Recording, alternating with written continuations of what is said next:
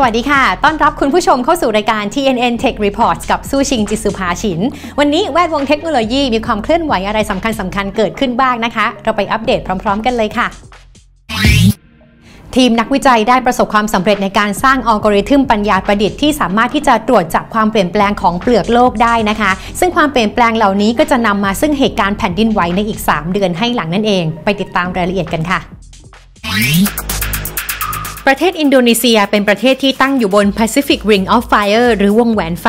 ซึ่งเป็นบริเวณในมหาสมุทรแปซิฟิกที่เกิดแผ่นดินไหวและภูเขาไฟระเบิดบ่อยครั้ง บางครั้งก็เป็นแผ่นดินไหวที่ไม่ได้สร้างความเสียหายมากนัก แต่บางครั้งก็เป็นแผ่นดินไหวครั้งใหญ่ที่อาจตามมาด้วยสึนามิ ซึ่งสร้างความเสียหายให้กับชีวิตและทรัพย์สินอย่างใหญ่หลวงเลยค่ะ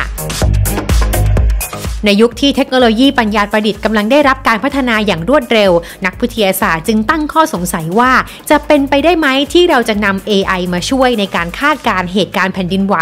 ทีมนักวิจัยจาก ENS ในฝรั่งเศส เป็นทีมหนึ่งที่เพิ่งจะออกมาประกาศความสำเร็จ ในการค้นพบอัลกอริทึมปัญญาประดิษฐ์ที่สามารถช่วยคาดการเหตุแผ่นดินไหวได้ค่ะ งานวิจัยล่าสุดของทีมนี้ก็คือการป้อนข้อมูลจำนวนมากให้กับ Machine Learning โดยข้อมูลที่ป้อนเข้าไปก็คือข้อมูลการสั่นไหว ที่บันทึกเอาไว้ได้ก่อนที่จะเกิดแผ่นดินไหวจริง ๆ ค่ะ โดยวัตถุประสงค์ของการวิจัยนี้ก็คือการพัฒนาอัลกอริทึมที่จะสามารถตรวจจับได้ว่า การสั่นไหวแบบไหนที่จะนำไปสู่แผ่นดินไหวที่รุนแรงได้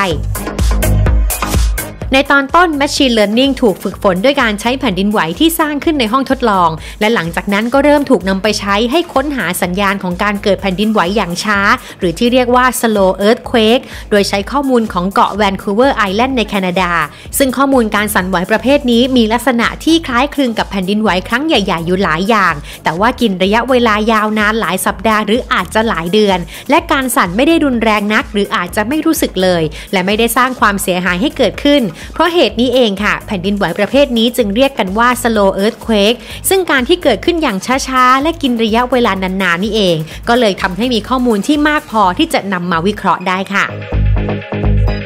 ปัญญาประดิษฐ์จะสร้างลิสต์หรือรายการของลักษณะเฉพาะด้านต่างๆ ที่เกิดขึ้นก่อนหน้าการเกิดแผ่นดินไหว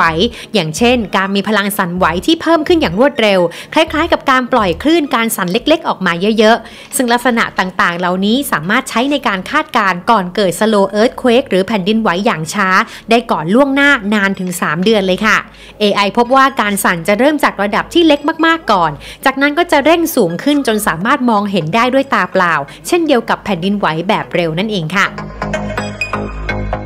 อย่างไรก็ตามความคืบหน้าของการใช้ AI ในการคาดการแผ่นดินไหวที่ได้พูดถึงมาทั้งหมด ก็ยังอยู่ที่ระดับ slow earthquake เท่านั้นค่ะ น่าเสียดายที่เรายังห่างไกลจากการใช้ AI คาดการเหตุแผ่นดินไหวครั้งใหญ่ ๆ ที่สร้างความเสียหายรุนแรง เนื่องจากแผ่นดินไหวที่เกิดขึ้นเร็วและแรงนั้น เกิดขึ้นภายในเวลารวดเร็วเพียงแค่ 10ถึง100 วินาทีเท่านั้น และไม่ได้เกิดขึ้นบ่อยทำให้ไม่มีข้อมูลที่เพียงพอให้ AI สามารถที่จะเรียนรู้ได้ แต่ก็จะยังมีการศึกษาและค้นคว้าต่อไปเพื่อให้ AI เก่งขึ้นเรื่อยๆ และหาวิธีที่จะใช้เตือนภัยแผ่นดินไหวครั้งใหญ่ ๆ ได้ดีกว่านี้ค่ะ